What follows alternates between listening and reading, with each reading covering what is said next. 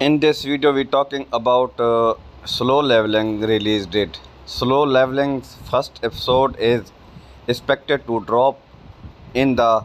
winter of 2024 with fans speculating a january release